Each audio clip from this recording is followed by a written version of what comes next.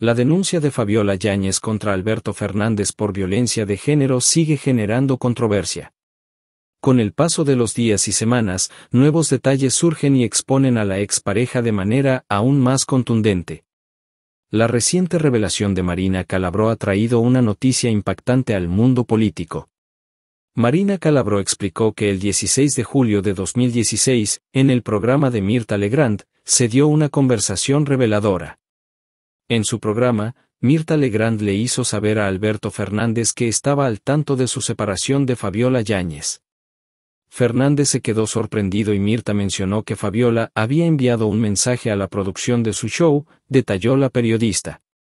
En medio de la feroz disputa que volvió a poner a Alberto y Fabiola en el centro de la atención, con Mirta Legrand involucrada, se produjo un contacto directo debido al enojo de la ex primera dama.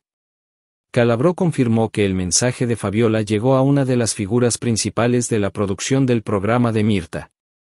Fabiola estaba muy molesta al ver a Fernández comportándose de manera tan relajada y altanera en el programa de Mirta, explicó Calabró.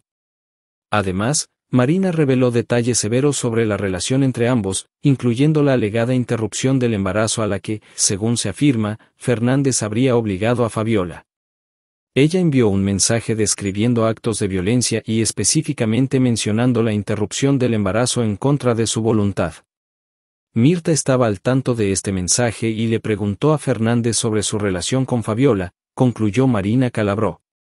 En resumen, las revelaciones de Marina Calabró han agudizado aún más la polémica en torno a la denuncia de Fabiola Yáñez, destacando la complejidad y gravedad de la situación entre ella y Alberto Fernández.